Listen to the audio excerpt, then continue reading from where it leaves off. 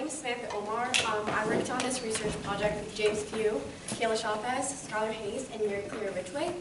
Um, and we looked at whether there was legacy soil pollution from the Cumming Street incinerator site. So incinerators are mechanical units that convert um, waste material to ash and gases through combustion. Um, the first incinerator site was built on Governor's Island in New York in 1885. And then waste incineration became popular in the US in the first half of the 20th century, and it was seen as a way to manage waste. Um, and by the mid-20th century, hundreds of incinerators were in operation in the country. So um, the pollutants from these incinerators can either be released um, through ash or through gaseous emissions. Um, lead having a much higher boiling point than mercury is um, deposited with the ash, while mercury has a much lower boiling point and is more likely to be released through the gaseous phase, as well as carbon monoxide and nitrogen oxides. Um, there are serious health impacts that can arise from these pollutants.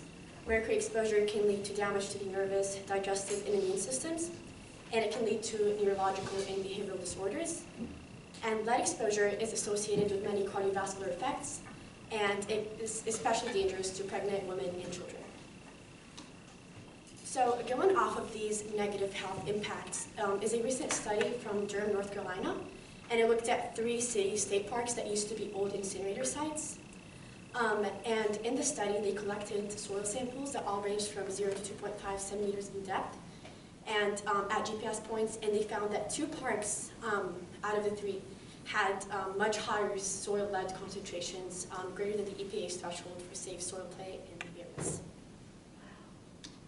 So here's a map of the Cumming Street incinerator site, which was the focus of our study. As you can see, marked by the red box in the corner is our incinerator, and by the arrow is marked the Cumming Street School, which is located on Wofford's property today. The boxes surrounding the incinerator and located on the map represent the homes of individuals in neighboring areas, showing the lack of separation between the incinerator and the everyday lives of individuals. The Cumming Street School was opened in 1926, which was the same year that the incinerator was opened. The school was home to the first public high school of African Americans in Spartanburg. The back of the college neighborhood was suspected to be the first African American owned land in Spartanburg. The proximity of the neighborhood and the school to the incinerator leave us to believe that environmental injustice could have played a factor in the location of the incinerator. Despite complaints of the black haze that surrounded the homes from the incinerator, the incinerator remained in Spartanburg for several years. The purpose of our research was to investigate what environmental hazards the residents of the neighboring area and the children that attended the school were exposed to from the incinerator at the time of its existence. We also wanted to explore what environmental hazards still exist in the soil from the incinerator today. Okay, so what you can see here on your screen is an image of the Cumming Street School that is currently on Wofford College's campus. And overlaid on this image, we've included a map that shows where homes in the back of the college neighborhood were located at the time of incinerator use. Unfortunately, when we were collecting soil samples for our research, we were not able to collect samples directly from the incinerator site. The incinerator is placed currently on Spartanburg Regional Hospital System property and not on Wofford College property. So we were only able to sample here within Wofford's campus. In addition, we wanted to make sure that we were sampling locations that were more likely to be undisturbed since the time of the incinerator use. So we tried to avoid places where houses would have once stood. Overall, we collected five total samples at a depth of about five to seven inches using soil probes. A majority of these indicated by the red dots here on the screen were located around the Cumming Street School. Once we collected each of our samples, we brought them back to the lab and mechanically grinded them down to break down any large soil clusters, and then further sieved them through a 250 micron sieve to get rid of any rocks or other organic material. And then in addition, in order to analyze each of our samples for lead content, we needed to suspend them in a liquid medium, so we underwent a acid digestion procedure as well. Okay, so one of the big pollutants in our samples were lead. So we looked at uh, lead in the concentrations. We tested five different soil samples. So the U.S. average background soil concentration for lead is 25.8 ppm. As you can see in the top right, these are five samples and their results. Only two of the five exceeded the background limits. And from that, we were able to conclude, even though they exceeded the regular background limits of the EPA limits, which is 400 ppm, they did not exceed that. So from that, we were able to say that it was not from the incinerator. We also tested our lead data for X-ray, or through X-ray fluorescence. X-ray fluorescence is, it irradiates samples with X-rays, and it causes those samples to emit certain rays, and from that, we're able to reveal the concentrations. All of our samples follow the same trend. They exceeded the average US sample, which is still twenty-five point eight, but they did not exceed the EPA limit. And from that, they still follow the same trend. We also went through mercury analysis, which is another important pollutant in, uh, from the incinerators.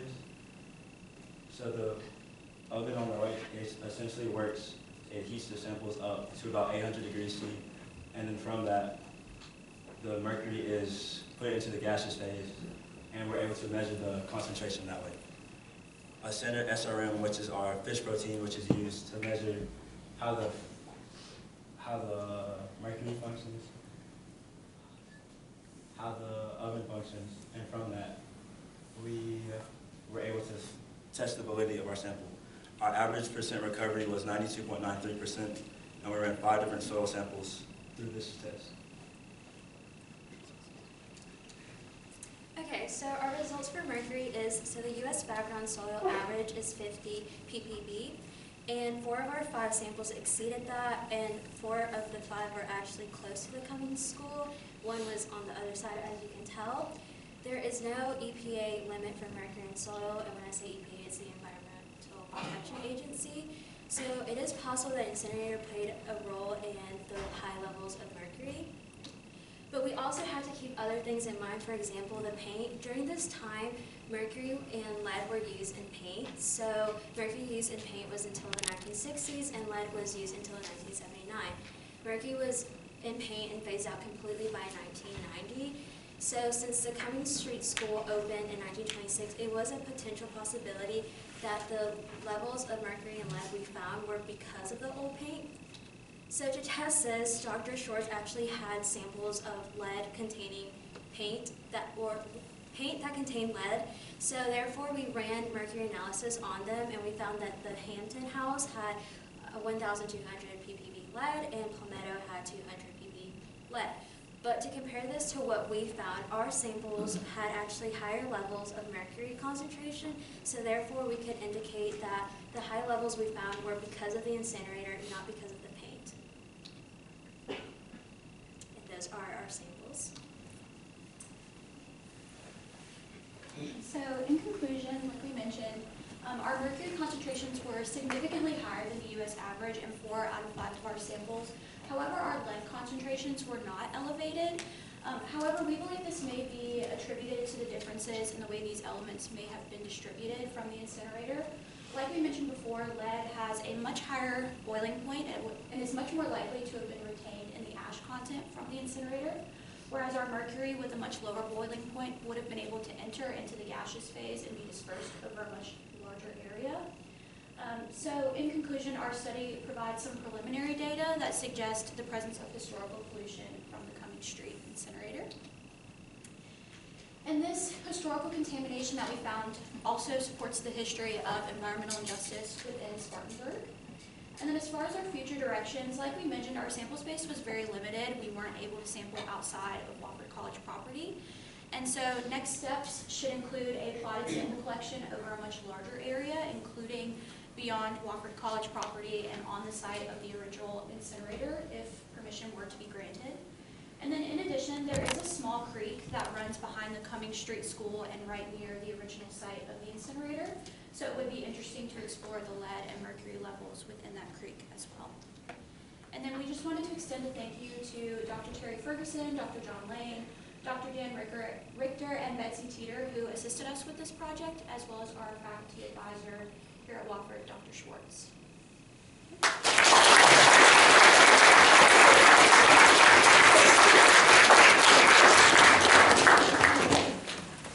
We have questions for our presenters. Right. Uh, How long does the soil sample testing take you guys in lab? the samples. So we did them triplicates, so in order to see how accurate our readings were. And it roughly would take me an hour and a half to two, depending, because I had to do it three times for each of our five samples. And one thing to keep in mind too is in order for us to use our analyzer that looked at lead content, we couldn't just place the soil within the machine. We had to undergo a full acid digestion, which can take many hours in and of itself. I think in total it's about eight plus hours. Question for Vincent? Might have already said this, but um, you said these are preliminary data results suggesting that there could be a follow-up um, experiment. If that was the case, and mean, all- from the people that were doing it, what would you do? What would Um, you look at? So like we mentioned, um, we were not able to test on the original incinerator site. Ideally, we would love to get permission from Spartanburg Regional Hospital System to test on that location, but that is a very long-winded process. Um, and then in addition, the remaining creek on Wofford College campus is a good place to start. But overall, we only sampled five locations kind of sporadically, and so having a more plotted sample set that was much more organized um, would give us a lot better of an idea. Any other questions? All right.